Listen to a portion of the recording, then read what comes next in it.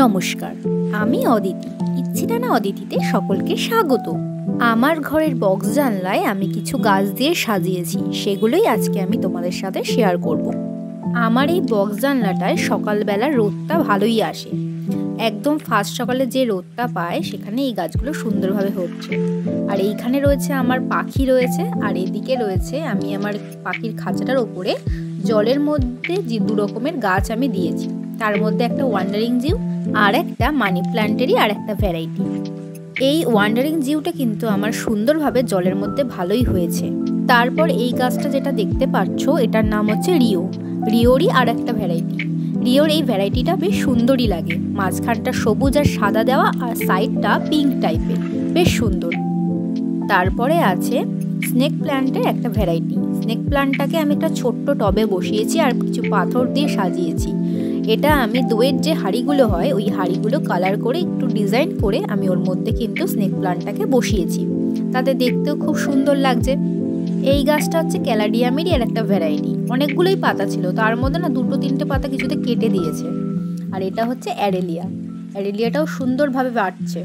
আর মানে এটা হচ্ছে ছোট প্রজাতিরটা। এর এই টপটাতেও কিন্তু আমি কি সুন্দর কালার করে দিয়ে আর কিছু গোড়াতে পাথর দিয়ে এটাকেও সুন্দরভাবে সাজিয়ে তুলেছি। এই গাছটার নাম স্পাইডার প্লান্ট পার্সেল যে বাটিগুলো হয়, ওই বাটির রং করে তারপরে স্নেক প্লান্টটাকে লাগানো।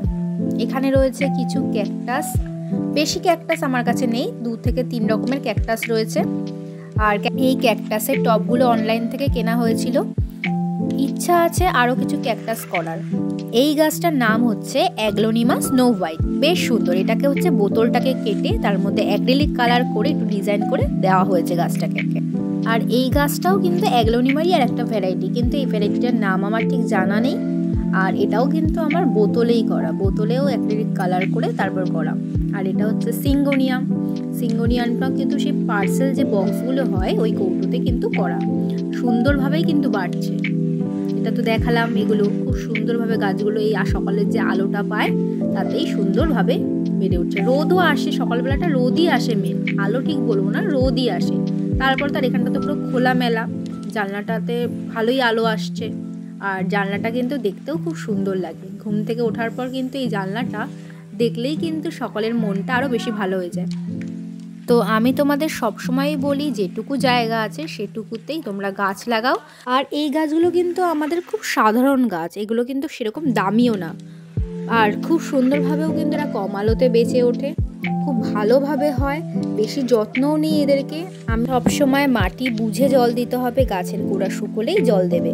এই ঘরের মধ্যেই যে আর একটা গাছ আছে, তার নাম হচ্ছে অ্যারিকা পাম খুব সুন্দরভাবে বেড়ে উঠছে, আমার খাটের পাশেই রয়েছে এই গাছটা। এই জানলা দিয়েও কিন্তু আমার সকালবেলা এক ঘণ্টার জন্য একটা ভালো, সুন্দর রোদ আসে। সেই রোদেই কিন্তু অ্যারিকা পাম্পটা সুন্দরভাবে হচ্ছে। এই অ্যারিকা পাম্পটাতেও কিন্তু দুদিন, তিন দিন ছাড়া ছাড়া জল দিই এবং পুরো গাছটাকে স্নান করিয়ে দিই ভালো করে। গরমকালে প্রতিদিনই গাছটাকে গোড়ায় জল দিতে হবে। আর দুদিন পর পর একটু স্নান করিয়ে দিলে ভালো। আর শীতকালে একটু বুঝে জল দিতে হবে। এরপরে আমি এখানে আরেকটি আমার জানলাতে আমি একটা কাজ একটু ফেটে গেছিল, সেই কাজটাকে জানলার ওপর দিয়ে ওখানেও আমি একটু বেশ সুন্দর করে সাজিয়েছি। যেই ছোট ছোট দশ টাকার, না সরি সাত টাকার যে জলের বোতলগুলো হয় ছোট্ট ছোট্ট বিসলারির, ওগুলোতে আমি একটু কালার করে একটাতে মানি প্লান্ট আর একটাতে ব্রোকেন হার্ট লাগিয়েছি। আর এখানে যে মাঝখানে যেটা দেখছ, ওটার যে ছোট ছোট মিষ্টির যে আগের ভাড় পাওয়া যেত, ওই ভাড়গুলো আর ছোট টপ দিয়ে আমি সুন্দর করে একটা পুতুল করার চেষ্টা করেছি।